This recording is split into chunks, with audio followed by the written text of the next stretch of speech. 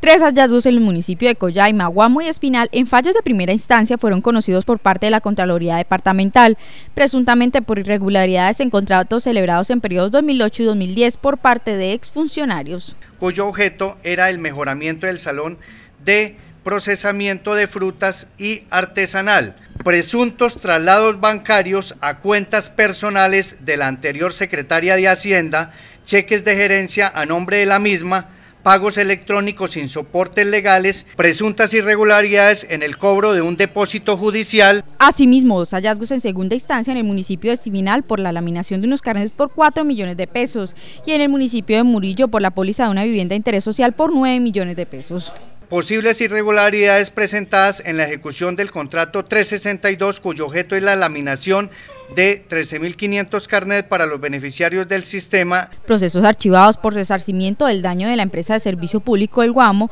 la institución educativa Marco Fidel Suárez en Herbeo y la Lotería del Tolima. Presunta irregularidades en la cancelación de combustible y no ser descontado a los contratos celebrados por la entidad. Hurto de 10 computadores portátiles, presunta irregularidades en la liquidación de incapacidades a funcionarios. Por último, los hallazgos que se adelantan en el periodo 2012 en el Hospital de Nuestra Señora de Lourdes de